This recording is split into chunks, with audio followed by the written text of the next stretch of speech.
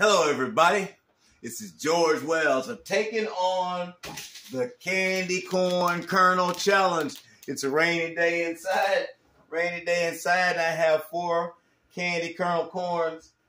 And I'm pacing off one, two, three, four, five, six, seven paces across the room.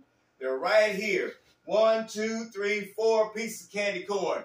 I'm going to attempt to shoot one or all of them with my CO2 powered ace in the hole custom built air pistol. All right?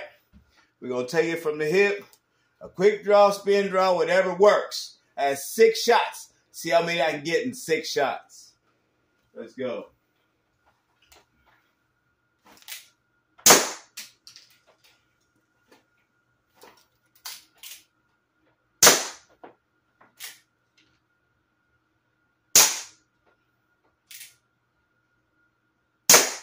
That's one. That's two.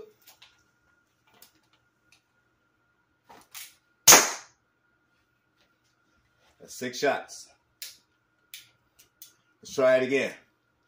But not bad. That's two kernels. That's six shots. I'm gonna move the camera now on by the kernels, and I'm gonna try to finish them real quick.